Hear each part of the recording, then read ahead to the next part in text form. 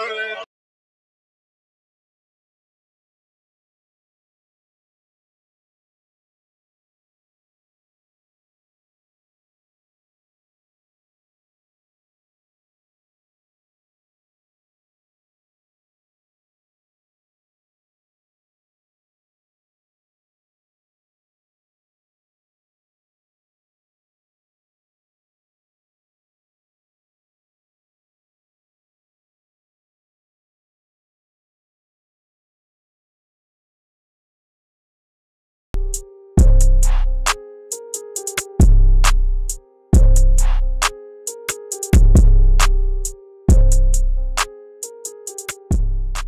Going on YouTube, welcome back to the channel. Your boy Eric, boy D-Ren E60. Today we're gonna compare both of our cars. So we got the E60 530 and we got the E39 M5. Now we're not comparing the E39 M5 to the to the 530. It's more so of a chassis comparison. Uh, so the E60 versus the E39. You don't know, 2004 BMW E60 chassis. It's 530i rear wheel drive. Uh, I've had this car for I think over a year now, so um, it's actually done pretty good. I haven't had any like major problems, just keeping up with the preventative maintenance and whatnot.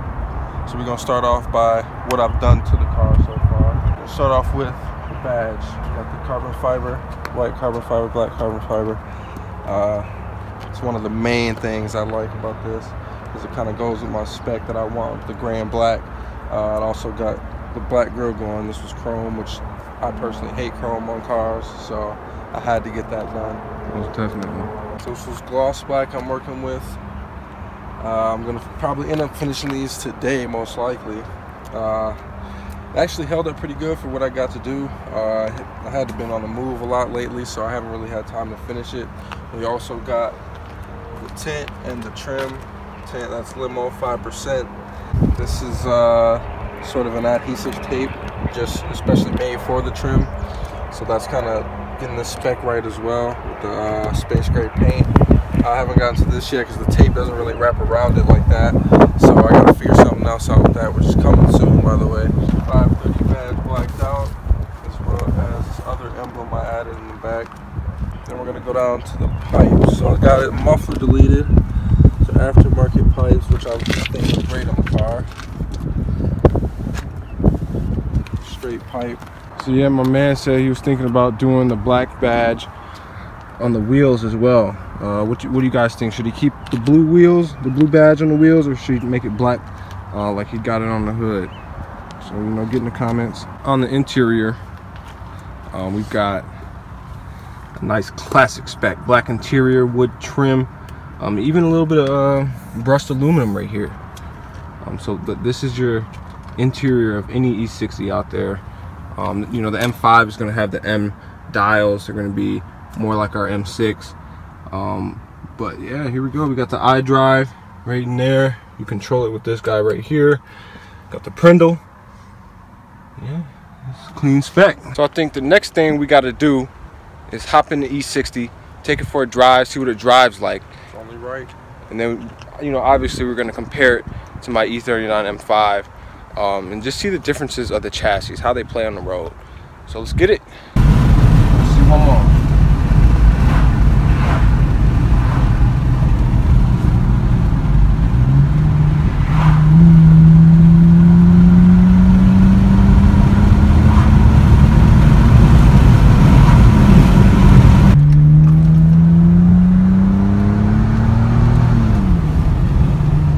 Everybody.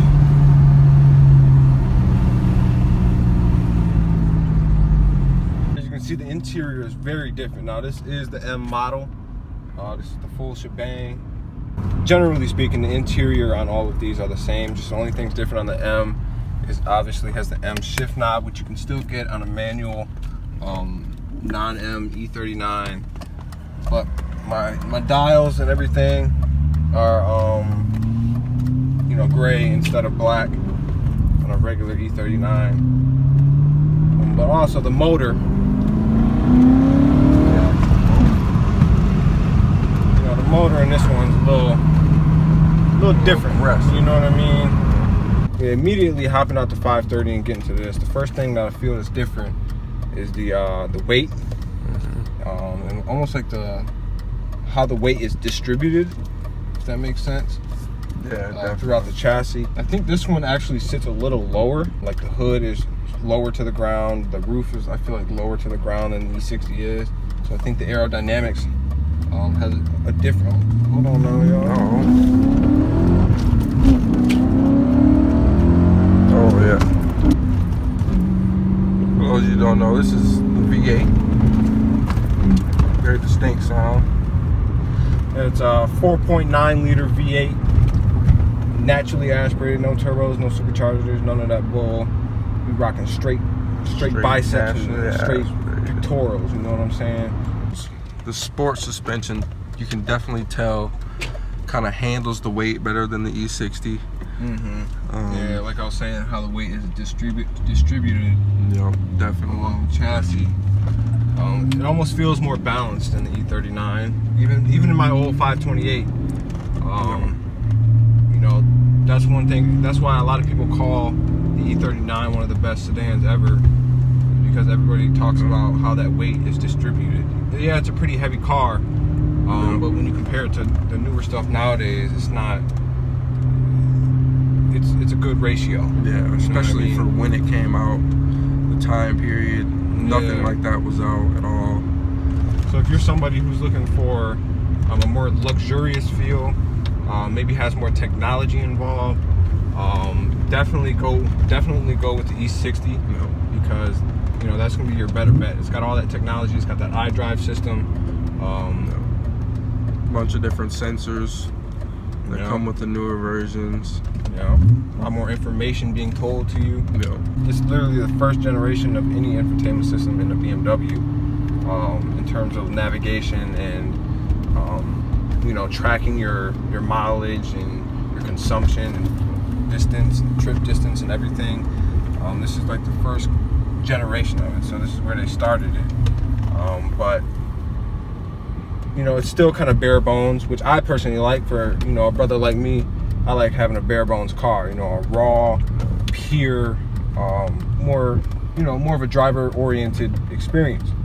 Um, so I think that's what I feel like is the biggest difference between the E60 and the E39. The E39 is more of an old school pure driving experience, and then the E60 is more of a technologically advanced, uh, more luxurious, still sporty, um, but Yeah. more luxurious feel to it. Definitely. it's definitely got your classic feel in here.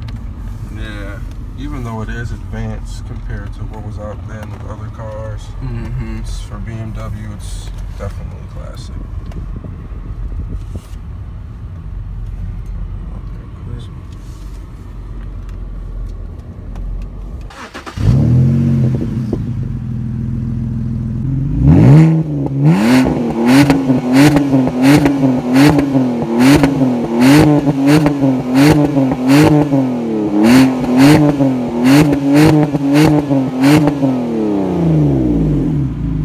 So yeah, we out. Uh, we got back. E39's parked up. E60's parked up. There you have it. Uh, I mean, what do you what do you think about the E39 versus E60 comparison? I think you got you're going with classic, more modern. You got M versus non-M. Mm-hmm. You're going with a bunch of different comparisons because you got the they're both five series. Uh, you know, so it's good to compare the design as well as how the ride is. So you got two totally different designs in the front as well as on the sides and the back. Although they do look somewhat similar. as There's, you know, you can tell they're related to each other. You know what I mean?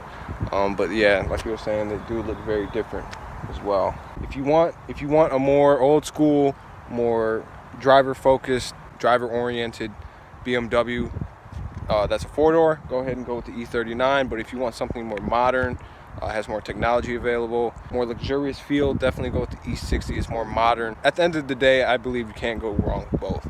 Uh, they're both great cars, non-M um, or you know M car, the M5 or just the 530, 528, 545, that kind of stuff. They're all great cars. I will say the one thing to note though, which is why I'm happy he got the 530 Uh, but one thing to note about the, the E60 chassis, uh, the V8s in this one have a bit of trouble with the head gaskets, um, around 100,000 miles. Uh, and that's not just the E60, but that's also um, any BMW from that generation. Get around 100,000 miles, the head gaskets and other few things here and there uh, tend to uh, go and die out. So just keep that in mind. That's why I really love the inline six. You know what I mean? Yep. So You got similar issues with the uh, 535 because of the turbos too, so you also Yeah. watch out for those. yeah. So yeah, this is the naturally aspirated 530 uh, inline six. Uh, make sure you check that link out in the bio for the merch. Yep. You know what I'm saying? Make sure you subscribe, drop a like on this video. Uh, we'll see you guys in the next video.